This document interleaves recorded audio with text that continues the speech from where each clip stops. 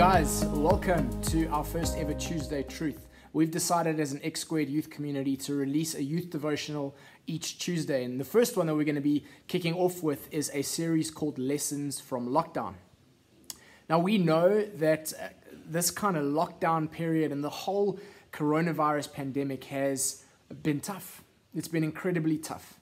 Uh, many of us are really struggling and are being impacted uh, by it. We, we're asking questions. Is, is anything ever going to go back to normal? Uh, will, will my parents make it through financially? Will, will I ever be able to go back to school?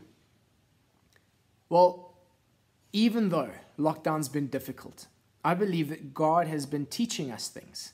And so, myself and some of the other youth leaders are going to be sharing some of the lessons that they believe that God has taught them through the lockdown period.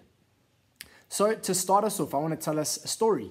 Now, when I was about 15 years old, my dad built me a go kart. Um, it wasn't one of those kind of push me around until you get tired go karts. It was a proper go kart, a go kart that had an engine. I mean, it was fast. Now, the weekend we were going to kind of try this thing out for the first time. We headed down to the Vaal Dam and uh, we were getting ready to go and, and there happened to be a girl that i liked there and, and i thought it would be a great idea to do the first test run with this girl. I mean, what, what an awesome way to impress a girl that you like. But I didn't realize that the go kart had a wheel alignment issue and that every now and then it would kind of veer to the right. So, anyway, this girl agrees to get into the go kart with me, and off we go down the gravel road. Um, we are cruising, and the next thing, the go kart starts to veer right. So I, in an instant kind of reaction, I just turn the steering wheel left.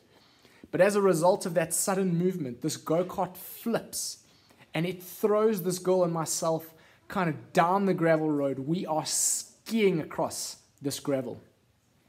We get up gingerly, covered in blood and sand, and this girl looks at me and says, You lost control.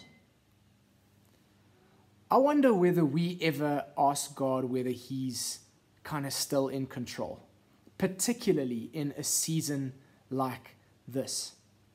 A couple of months ago, things were going fine.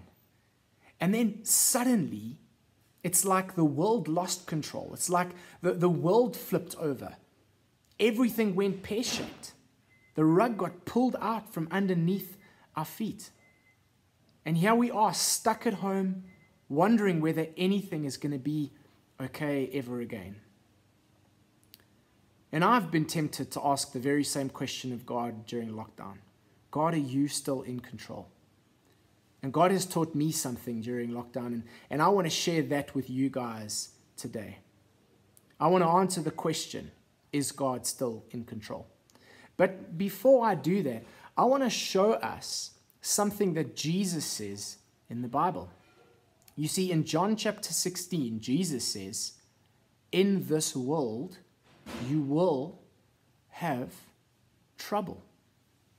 There's this guy called James who writes a book, Jesus' brother actually, and, and he says in his book that we're going to experience trials of many kinds in this lifetime.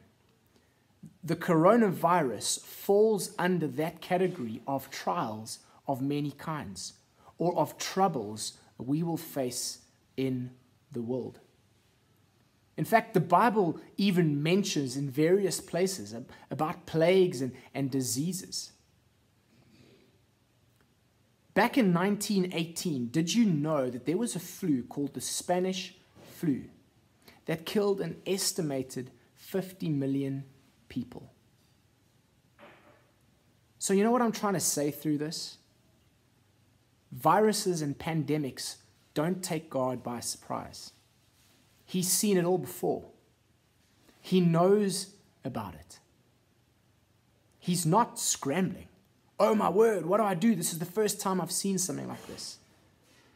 Which brings me into that question. Well, okay, he knows about it, but is he in control? It's a great question. And you know what? This devotion isn't going to be about me trying to prove whether God is still in control or not, because I don't even think I could do that. But this devotion is about letting you into my life, into what I believe God was saying to me when I felt the temptation to doubt Him slowly kind of creep in. And the lesson that I learned early on in lockdown is that God was telling me to make a choice. I had to choose to believe what I was feeling or to believe what I know to be true. I actually had to make kind of or take a step of faith. Because either God is in control or he's not. He can't, he can't be kind of in the middle. So, as I was faced with this question, is God in control? I started to think about some verses in the Bible which have kind of told me in the past that God is indeed in control. Take a look at Isaiah 55 with me, for instance, verse 8 to 9. God says, For my thoughts are not your thoughts, neither are your ways my ways. As the heavens are higher than the earth, so are my ways higher than your ways. Or this well known one, Romans 8, verse 28. And we know that in all things God works for the good of those who love him who have been called according to his purpose. And then again, Jesus in John 16, verse 33 In this world you will have trouble, but take heart, I have overcome the world. So it is very clear from the Bible. It's without a doubt, actually. God is in control. But I don't always feel like that. Sometimes it's really tough for me to believe these things.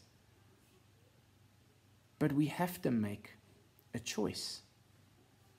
Either we're going to believe that He's not, or we're going to believe that He is. And as I look back over my life, can I tell you that throughout my life, I have seen the fingerprints of God all over my story. I have seen His hand over me. I have been through difficult times, I have been through good times. But in it all, I've seen how God has used each circumstance in my life for my good, to shape me, to make me who I am today. And I certainly believe that it is no different with what we are going through with the coronavirus. There's a verse in Hebrews chapter 11 Faith is confidence in what we hope for, and assurance about what we do not see. The first lesson that I would love for you guys to learn with me in lockdown is that we live by faith and not by our senses, not by sight, not by what we feel. So if you are doubting that God is in control, if you feel your anxiety levels rising, you can either go with what you feel or you can make a choice. And you can believe that God is good, that He is faithful, that He loves you, that He is working this thing out, that He is in control. And that one day you're going to look back and you're going to see the reason for this whole thing.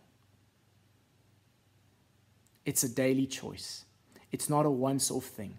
Each day, day when those feelings come back, I've got to make a choice saying, God, I believe that you are in control. I don't have any other option.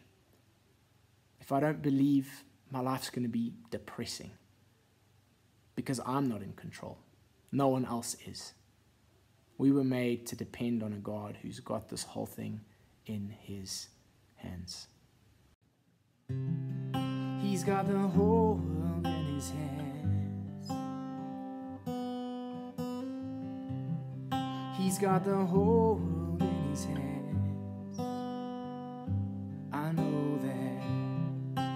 Got the whole world in his hands. Do you believe it? He's got the whole world in his hands. Well, that's our first ever Tuesday Truth done and dusted. I hope it was encouragement to you. Um, if you enjoyed it, please share it with your friends, like it on Instagram, add a comment. Uh, we hope to see you on Friday night for our next X Squared Hangout Games Night. And otherwise, we will speak to you during the week. God bless and have a great day. Cheers.